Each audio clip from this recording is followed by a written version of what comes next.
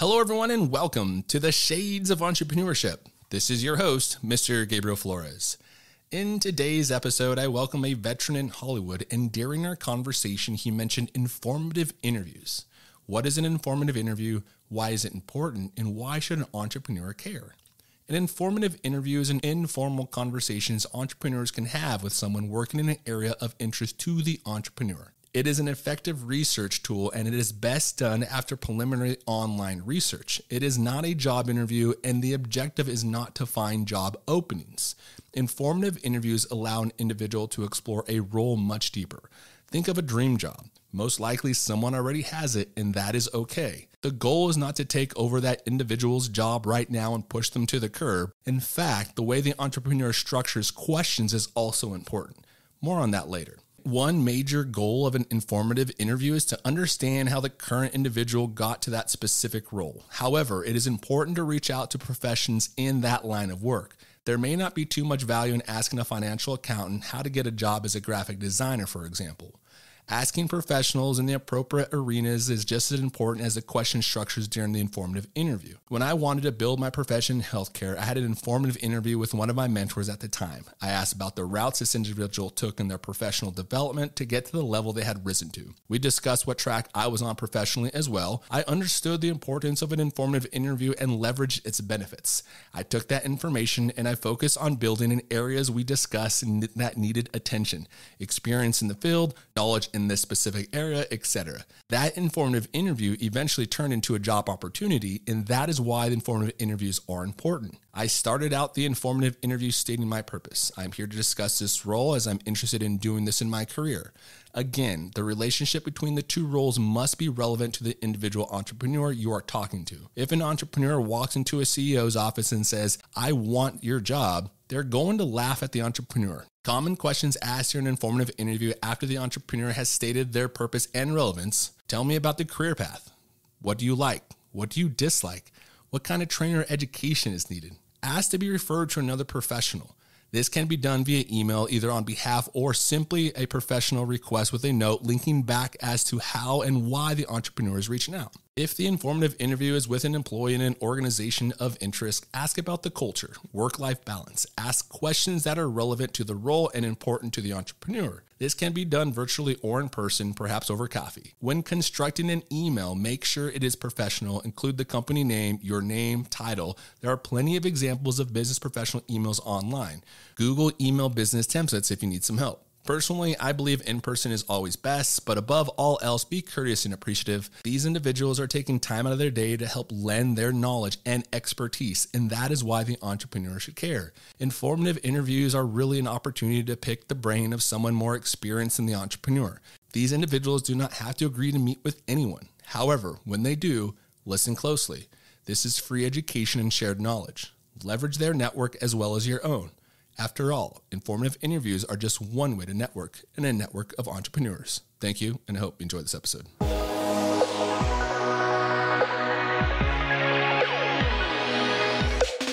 Welcome to the Shades of Entrepreneurship, where we interview entrepreneurs to inspire the future entrepreneur.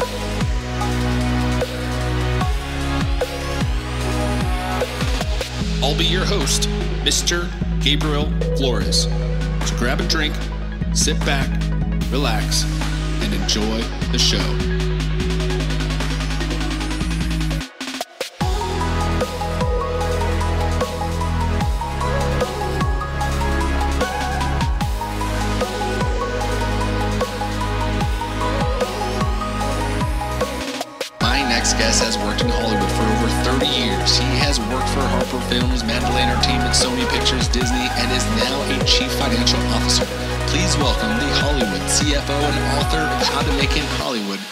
Tim Tortora.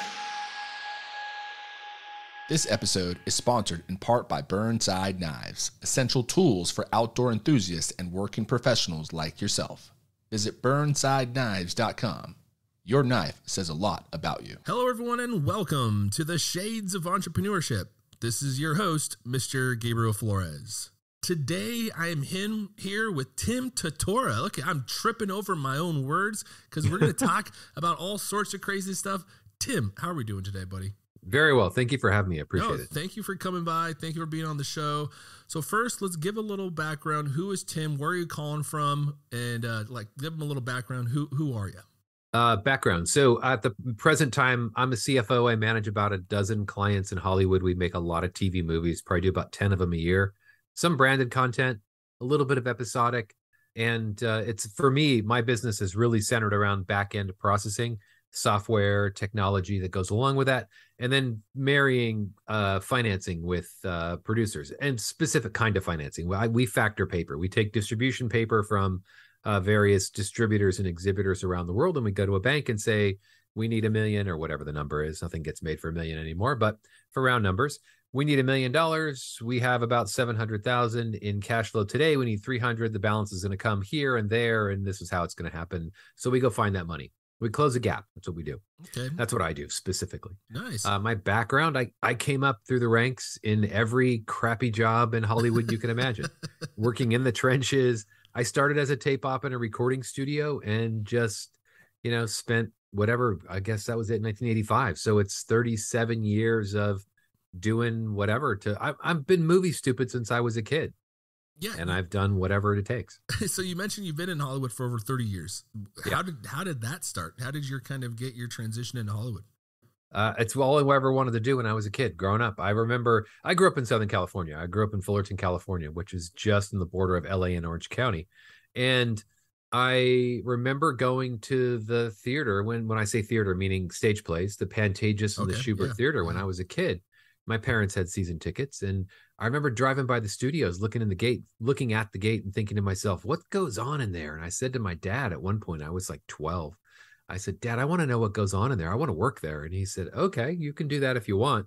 And um, that, uh, you know, I stayed up for the Oscars every year until uh, until I'd fall asleep in the, you know, whatever the best actor category because I was a kid, you know, at like nine or ten o'clock at night and um and i just i got my start. I was a music major when i was in college. I was a drummer but um not a very good one and i realized pretty young that i wasn't going to be a good player if i didn't practice and i just didn't want to practice. I didn't want to spend that kind of time. I also didn't want to play on friday and saturday night. I wanted to have my weekends off. Yeah.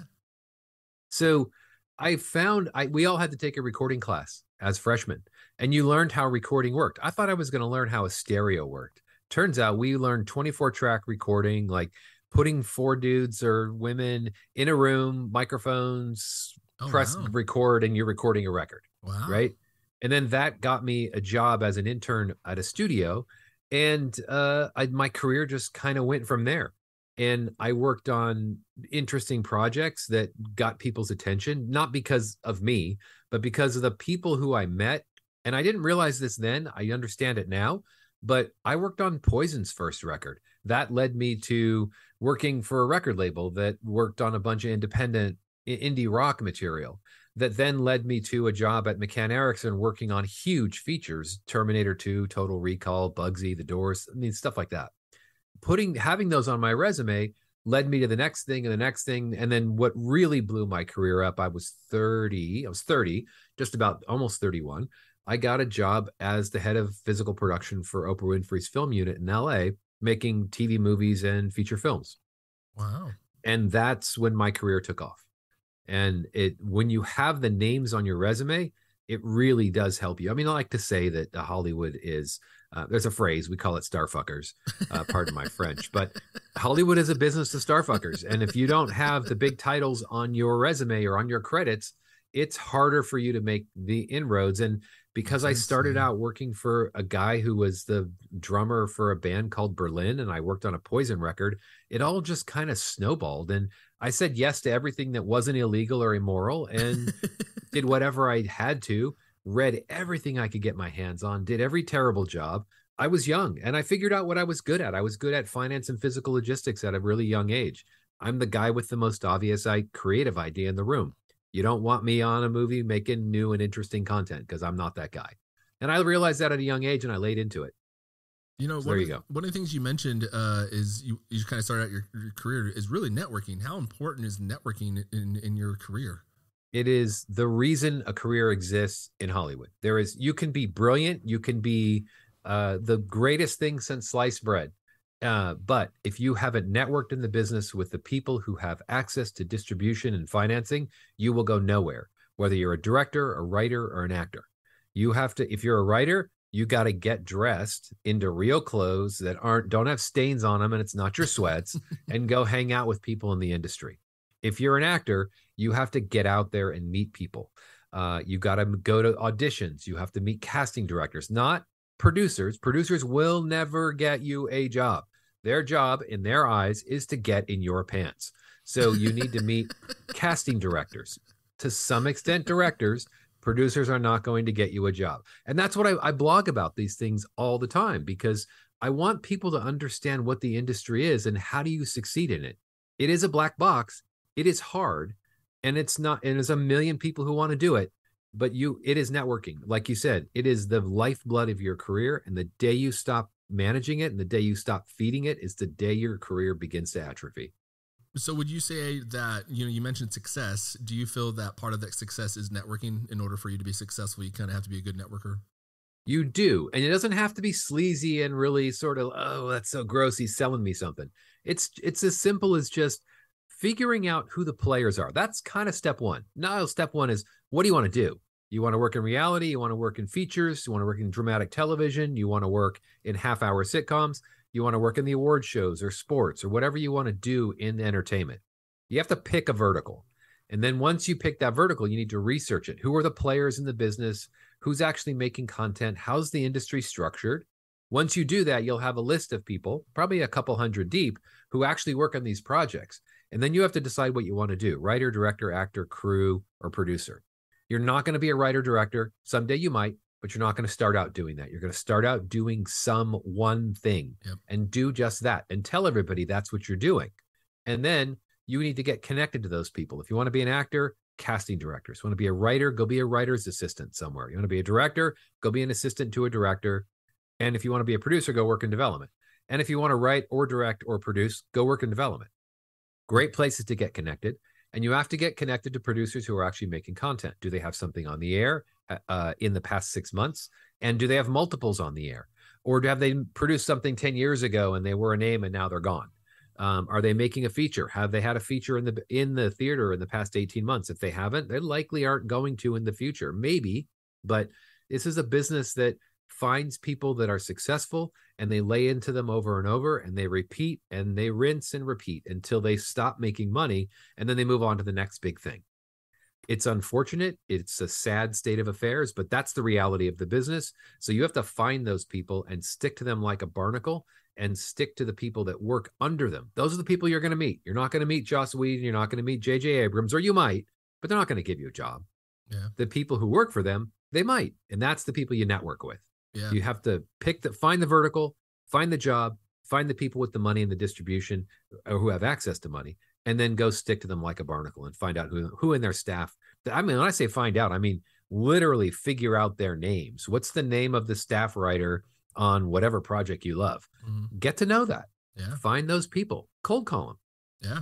Yeah. There's nothing wrong with cold calling. I've talked about cold calling on the show before. In fact, um, recently I talked about self publishing and the importance yeah. of that, you know, because uh, yep. like you mentioned, just getting content out there, right? And, yep. and getting things out there. In fact, you're kind of men- mentioning content, uh, content let's talk about managing a content business because that's what you are and, and, scale at scale how do you how yeah. do you kind of continue to do that so can we talk about your business in particular yeah you it, it, we are managing content at scale and at speed this business runs 150 miles an hour when you get in it you are either driving or sitting inside a car driving down the road 150 miles an hour and every other car around you is either parked or driving slower than you that is just the nature of it so if that's not something um, that you can process quickly and that you like, uh, this business probably isn't for you. But if it is something you like and love, then this is the place where you're going to get it. It is an adrenaline buzz all the time. And you're at the front end of the culture war that's happening every day. It's a war happening today. It wasn't a war when I was a kid. It was just, it was just business, which is its own kind of battle and war. But nonetheless, uh, you were at the front of culture. So managing it at scale is a labor intensive and time intensive process. There is no two ways about it. I have been in the trenches of filmmaking, of post production, of making records, of the finance side of it. At this point in my career as a CFO, I do about 10 of them a year, 10 two hour TV movies for Lifetime and Hallmark, lots of Christmas movies.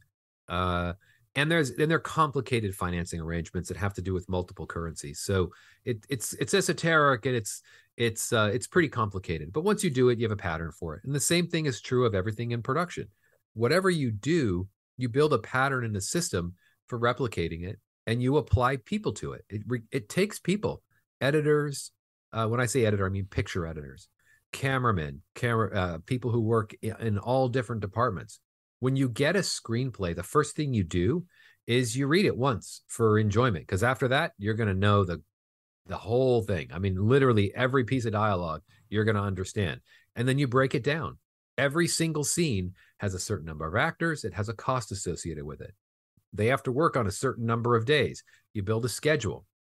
You break down a screenplay. That screenplay that breakdown gets turned into a budget. That budget gets turned into an action plan that you then execute over a short period of time anywhere from 12 weeks to 12 months. Big features you know big tent poles maybe 24 months but not very common. And you're just breaking everything down into its constituent parts. Building schedules or systems there's ideas and ways of tracking this kind of uh, volume of data it's a huge volume and the systems have been around since the 50s. Nothing's really changed. It's just turned into uh, a technological edge a little bit. You know, we use software to do a lot of it, but it hasn't really changed. The the process of making film, except Mandalorian changed this in the past couple of years.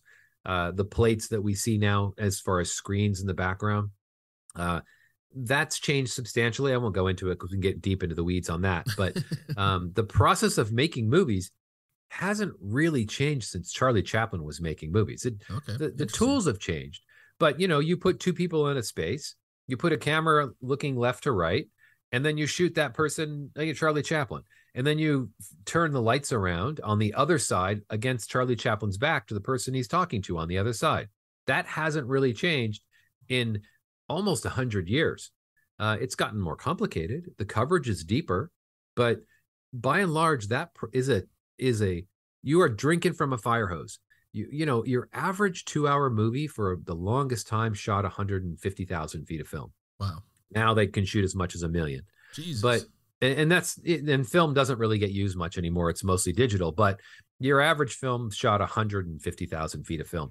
Every single camera roll that gets pushed through a camera is a thousand feet or 400, depending on what you're buying uh, of 35 millimeter film. So someone's managing that thousand feet roll, and it's about 10 to 12 minutes of footage, sometimes eight, depending on what you're doing. Um, so you you have this thing where it's a thousand feet of film that might have 10 takes of six scenes. Somebody had to go document all that and give it to editorial who then transfers it into video so they can cut it on an offline editing system so that we can later go back to that film and cut it up and turn it into something right so it's it's it's drinking from a fire hose and it's managing all of that data that's coming at you uh, on a regular basis. And there are systems out there, and it just takes a lot of people and a lot of time. Yeah, you know, you, you're talking about quite a bit of time, quite a bit of effort, but you know, I'm, I'm also thinking, what's the where's the where's the quick guide? Where's the quick guide to making an income as a filmmaker? Is there a quick guide to making income as a filmmaker? A quick guide? Yep. There isn't one. Movies the the and this has been true for the since the dawn of of the of content, going back to books and all the rest of it. You are competing for people's time to open up their wallet to pay you for your content. Mm-hmm. I hate that word content, but it is what it is. It's movies and television in my world. Yeah. So you you you have to make something that's compelling enough to, for people to pay you for it. Otherwise, they're going to go steal it or they're going to watch a friend's, or they're just going to see free stuff on TikTok, right? When I started in the business, there were three networks, there were a few local affiliates on television and local markets, and movies, and that was it, and books. And, you know, as time goes on, distractions happen, and you have to convince people to open up their wallet to pay you. That is very difficult. It's not easy. We do it in Hollywood by creating spectacle and turning actors into royalty. That is essentially what we've done for 100 years. That system is starting to unwind. It's unraveling slowly, but it's unraveling. We have convinced everybody that everything we make is brilliant and or hysterical because we make these trailers and it's it's marketing's job to do that, right? Right. We make these trailers that show you the movie in 6 minutes or 3 minutes Yeah, and you're like, yeah. "Oh, that looks amazing. Let's go watch it." And you get out, you're like, "I just watched the trailer, but I took 90 minutes of my life. There was nothing new here." Yep. And it cost me 100 bucks to take my kids and buy popcorn, right? so um the point is uh there is no quick start guide but there is a common thread and the common thread is you're making something people haven't seen before. And it can be a 15 year old hasn't seen or it can be a 55 year old those are different animals you know as far as the, what they've been exposed to of eh, all kinds of content over their lifetime. A 15 year old sees a marvel movie they're like oh my god it's amazing. A 55 year old goes oh again? Really? Didn't i read this when i was a kid in mr bowman's class when i was bored in math you know i pulled it out of my backpack and i was Yeah. thumbing through my comic book. So um you know it's it's different and you're marketing to different people at different lifestyle different times in their life. So there isn't a quick guide. You got to be creative. You got to be different. If you're making a movie about your story or you're writing a story about you what you understand what you know you're going to bore everyone. No one gives a shit about you. They just don't. They care about themselves so what they want to see are they want to see content this is my opinion.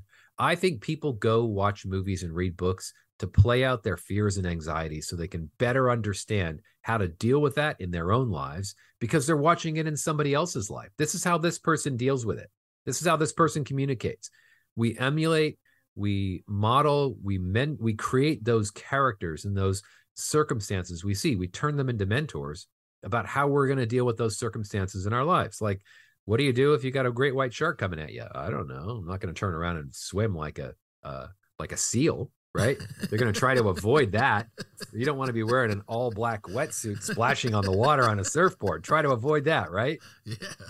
so anyway, uh, I don't think there is any quick guide, but I think uh, at, if you're good at, if you've figured out how to tap into an audience, you have captured lightning in a bottle that most people in Hollywood spend millions of dollars and thousands of people's um, time to create to open up their wallet and we do it at scale for a 12 whatever billion dollar industry right Yeah. In fact, So- you know, you're you're kind of talking about you know this. Um, you you talked about the the the uh, thirty minute or you know three minute um, advertising for the actual movie, right? The the nice little clip there, and then you go to the movies and you're like, I just saw this entire movie, but Yeah. just through this three minute clip.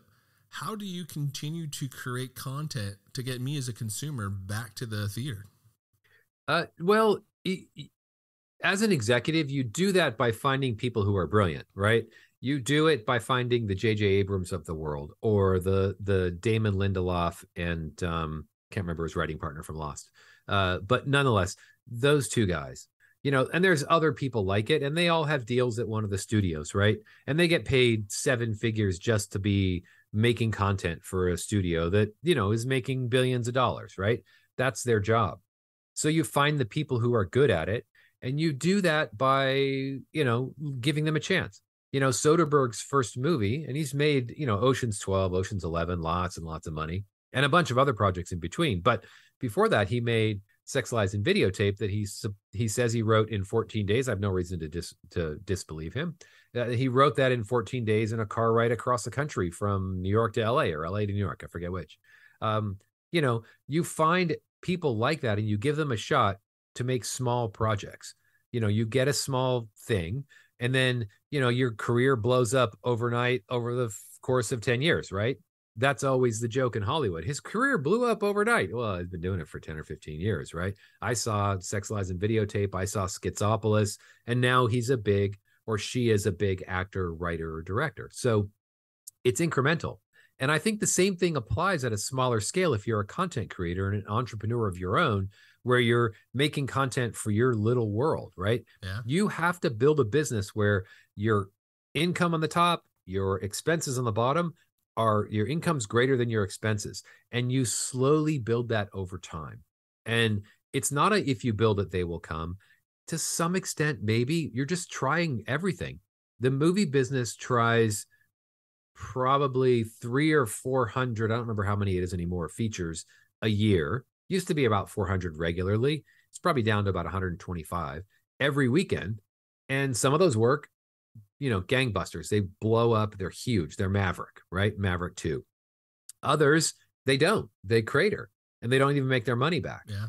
And then the same thing is true in streaming. You know, they make something and they see if it works. And if people start to watch it, it shows up on your screen and gets recommended to you constantly.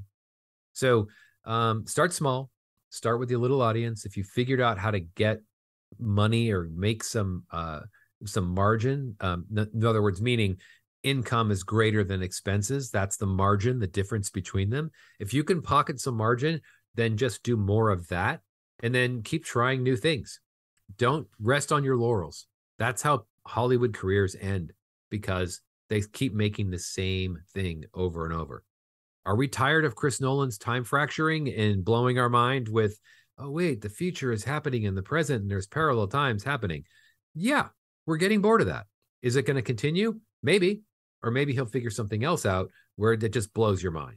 Yeah. So that's the thing. You can't rest on your laurels you know you being an executive you know in this in this hollywood um, kind of area this market what would you say are some of the most difficult things that you run into and as an executive that you're like man i didn't know i'd have to think about that and maybe it's just a hollywood specific thing that maybe it's not really something that maybe other industries have to think about that's interesting i don't think i've ever been asked that question um the thing that I don't think there was anything that really ever caught me by surprise, at least not in my job now. Certainly, human behavior always catches me by surprise. People's willingness and ability to do stupid shit that is that is counter to their own best interests is will will never cease to amaze. I got me. visions of the Jackass movie going through my head right now.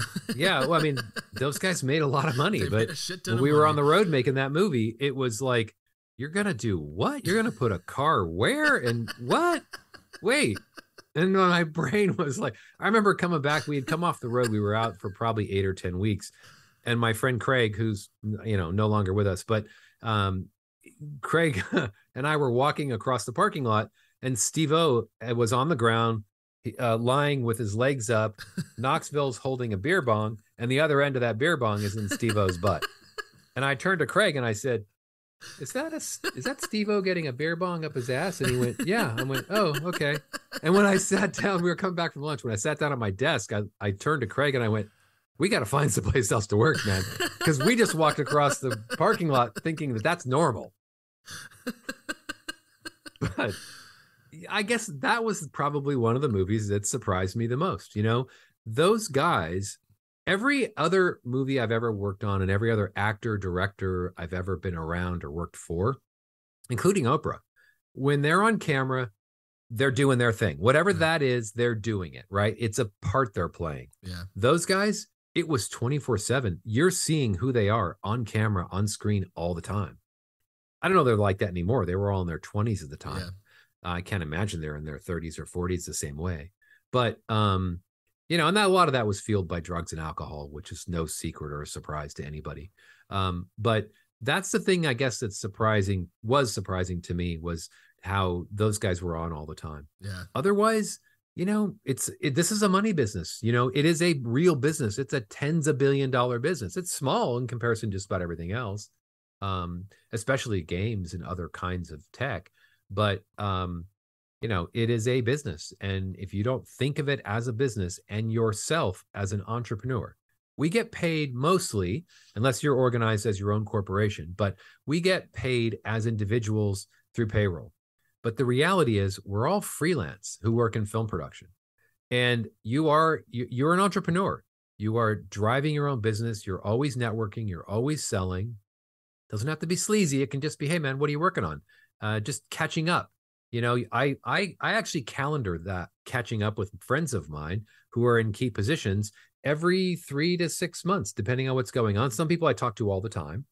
And then i'll call up and say hey man what are you working on? They'll tell me and then i'll say oh by the way i'm looking for work. If you know someone who's looking for a production accountant or a line producer or whatever i'm doing at the time mm-hmm. uh, throw my name around. I'm, I'm looking. So that's part of the thing you are an entrepreneur whether you're a grip electric camera producer writer director actor There is no agent who's going to find you work and make you rich and build your career. Ain't going to happen.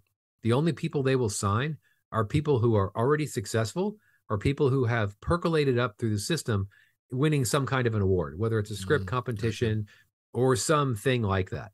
I hear all the time, I got to get an agent, got to get a manager. You don't. You will be the person who drives your career.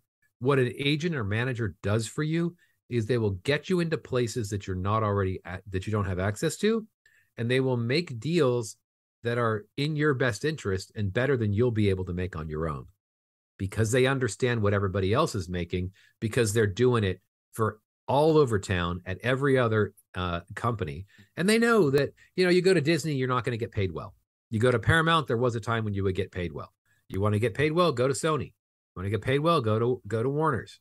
Those are the places that have traditionally paid well. Now it's uh, netflix. Now it's hbo those are the places that are paying people top dollar. Hulu? Yeah you'll get paid half of what you'll get paid to do the same thing at netflix.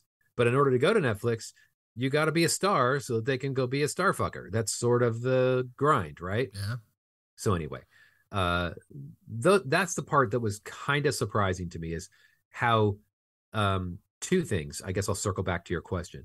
One is um, the thing that really surprised me was the shows you work on, the the credits you establish. Those are as important as the, as the people you work with, and the people you work with are just as important. And the other thing is, uh, you have to find uh, a system for networking that is um, eh, that manages your career like an entrepreneur.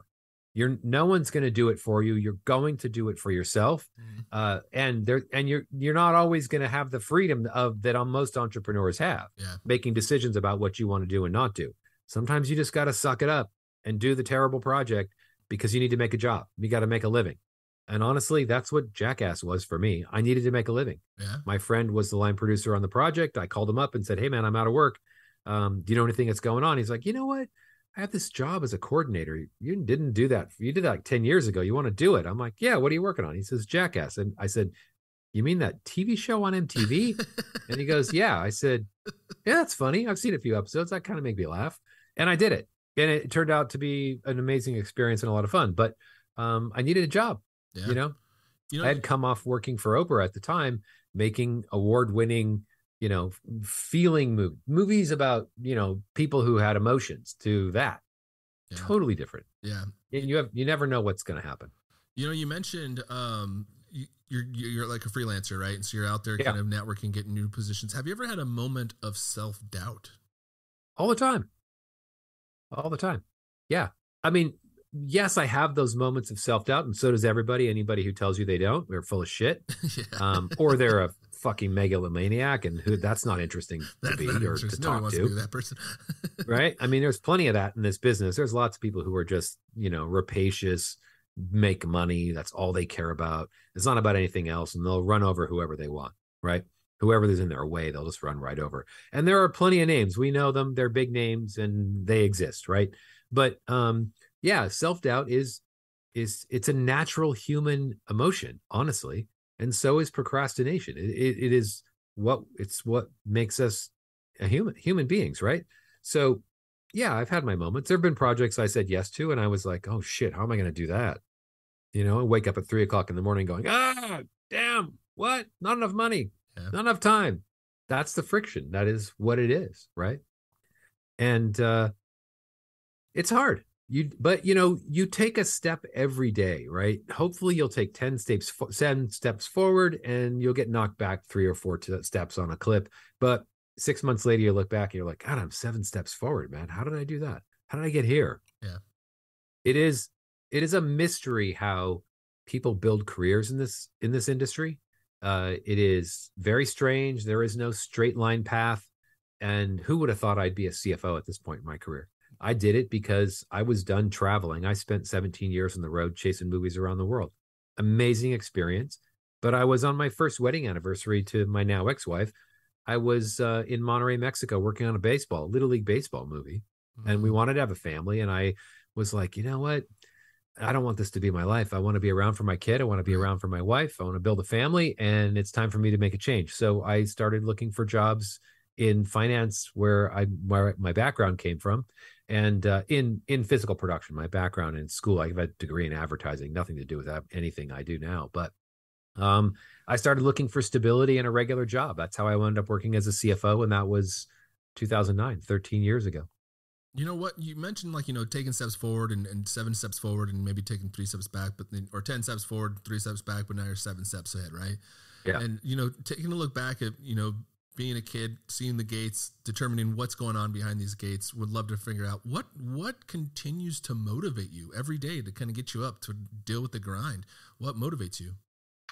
Uh, the, it's doing this for a living is cryptography. It's never the same. It's always different the personalities are different. Sometimes you're working with someone, people who are great. Sometimes you're working with an asshole. It just depends. And uh, it's interesting and fascinating all the time. And it's not the same. I'm not the brain who can do insurance like gang, gang, cookie cutter, cookie, cookie cutter. I'm not that guy. It's different. Uh, you know, agreements come across my desk different. I got to figure out different ways of putting money together to make a project come together.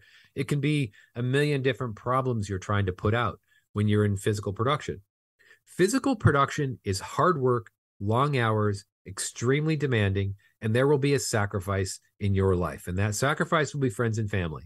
If you don't want that to be primary in your life, don't come work in film production. This work life balance nonsense is just that it's nonsense something will give.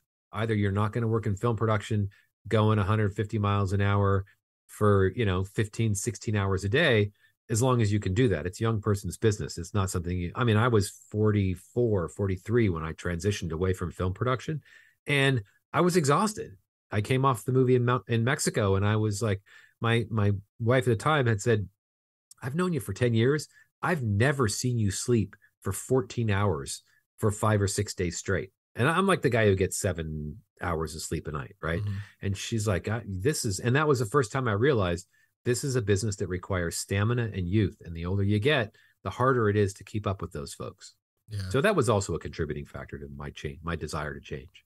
So you know, you get out of bed because it's a fascinating business and it's fun and it's something that um is it's like putting a puzzle together every day all the time yeah at scale yeah, at scale. And so now you're dealing at a large scale, and you're obviously, you know, the CFO. You're dealing with a lot of individual employees and things of that nature. But what are what are some things of you as the CFO, being the executive company or being an executive at this company? What are some of those things that keep you up at night? You know, at this point, it's so machine rote that I'm not sure that anything keeps me up at night.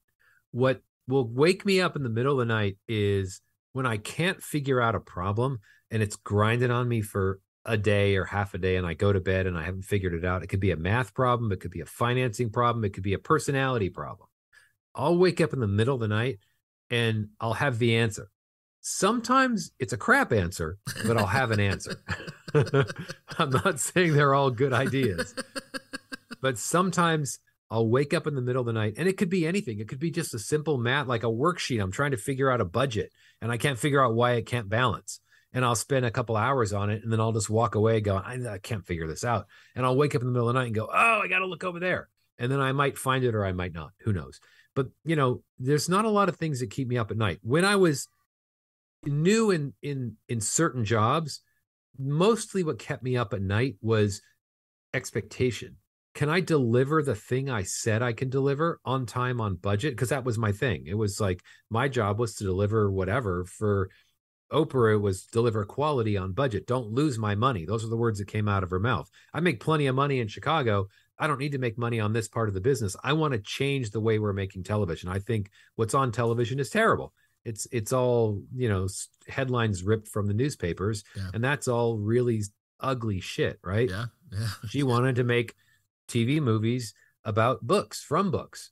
And, you know, she always said, I don't need to make money. I make plenty here in Chicago doing the show, but just don't lose my money. And, you know, the expectation of delivering, you know, at 15, not even an 11, but literally delivering at 15 with not enough money or time and living up to that expectation. That was always the thing that kept me up at night was expectation and delivering high quality for whatever I was given. That was like that's how I'm built. I want to deliver more than um, is expected of me everywhere I go, you know. And not everybody's like that, but that's that's what always kept me up at night. Yeah, you, you you've done historically you've done almost every single role it seems like within the film industry, but other than maybe acting, right? It seems like maybe maybe yeah, I've done a lot acting. of them. What what would you say is your your favorite role out of them and why?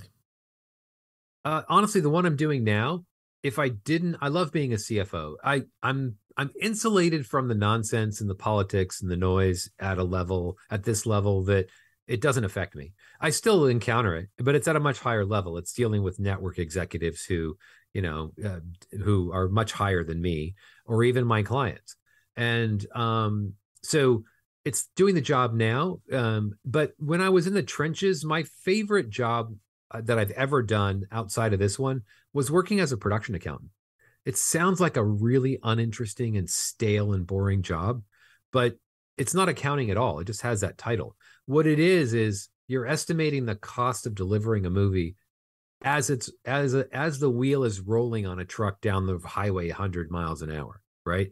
You're looking at snapshots in time every morning, every afternoon, end of the week, end of the month, whatever it is, end of production, end of post, end of prep.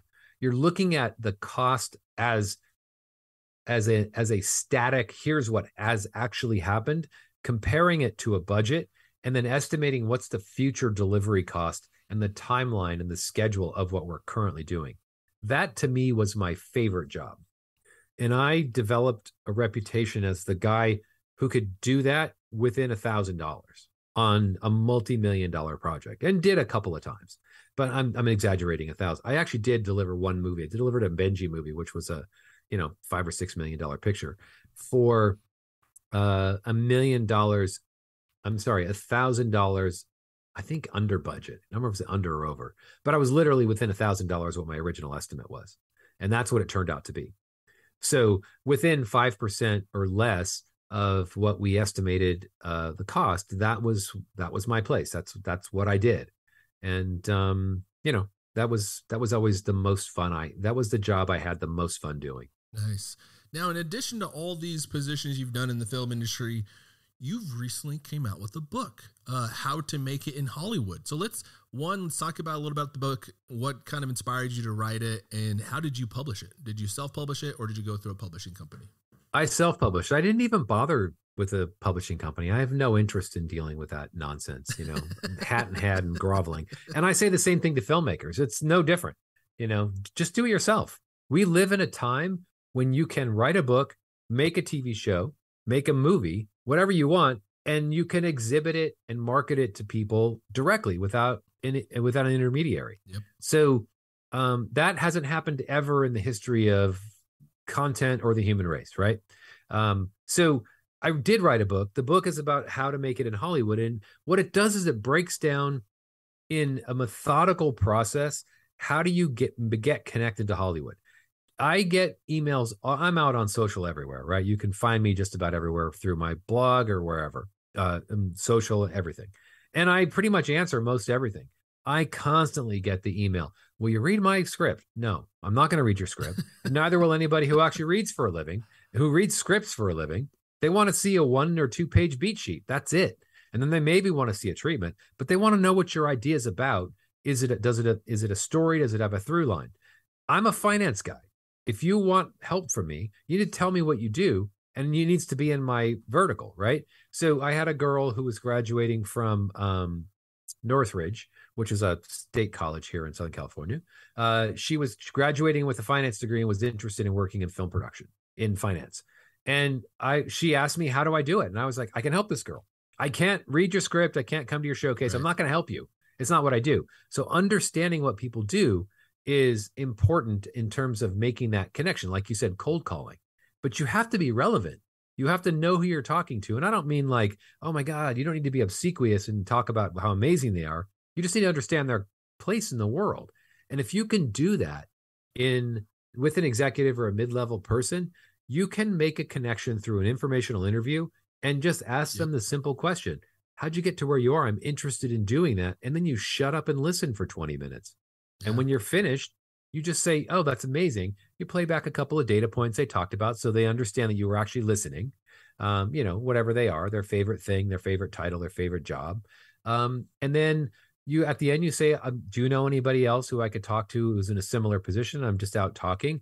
And uh, by the way here's my resume. I'm looking for a job as a and insert the assistant job of your choice that you're trying to reach. And my book talks about all of those things. How do you research the titles the projects the verticals the people working on them you build a list how do you connect with them on dm and email and cold call and then once you do that how do you how do you connect with them how do you how do you build that relationship Sometimes you will, sometimes you won't.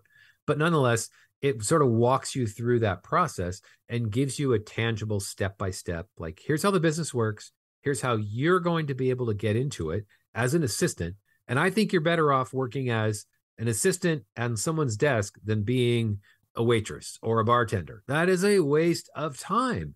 You're literally spending two hours a week in the grind with people making decisions, maybe if you're auditioning and, and you're out there as opposed to spending 80 or 100 hours a week in the grind, working on someone's desk, learning the landscape of who's making content, who isn't, who's useless, who isn't. There's plenty of useless people in this town, and they don't really, you know, they don't hide it. They don't. They, they hide it really well. They don't. They don't make it obvious to you who is useless and who isn't. Makes sense. Makes sense. Now, what what are some advice you would give some of these listeners at home, either from an actor perspective or from an entrepreneur perspective? What advice would you give them? Well, uh, from an entrepreneurial perspective, you have to remember in this business, you are an entrepreneur. You are running your own career. You're going to make decisions about what to do and what not to do. No one's going to do it for you. And surround yourself with really good people as best as you can find, as best as is available to you. And it also that also goes back to the second point that I make t- to people all the time, which is worry less about your title and how much money you're making. Worry about the projects you get on and worry about the people you're working with. Projects you get on need to be big name, splashy early on in your career. You want to work an independent? Go work for the studios, understand the landscape, figure out who the indies are, and then go work an independent. You're not going to go from independent to studio. It's never going to happen. You may one day become one of those people, but honestly, you don't really want to be. You know, you're basically doing someone else's job at a studio as far as delivering content for them, as opposed to doing something that feeds your soul and you're really interested in. And the other thing is, I've worked on a lot of crap in my career. Not everything was great. Uh, some have been, and there's some were jobs I was really, really interested in doing, and some weren't. When I say jobs, meaning projects. Um, you're going to work on a lot of crap you got to make a living. There's nothing wrong with that. Not everything needs to be huge. Not everything needs to be a big name, but you do need to surround yourself with people who are working on those big projects and worry about what projects you can put on your credits and worry about the people paying business. Your average, you know, PA working on a set, they make thousand to fifteen hundred dollars a week after overtime and all the rest of it. You know, you give up your life, you're an indentured servant to somebody yeah. for some period of time, and it's it's Eh, I hear it all the time. It's soul crushing. Is it really, really pushing paper for an insurance company? That's not soul crushing. No. You have the most amazing job that a thousand people are around the corner want your job and would kill you for it. And by the way, they'll step over your body in the process of killing you to get that job. Yeah. They won't even move it out of the way, politely bury it in the shallow grave in the desert. They're just going to walk right over you.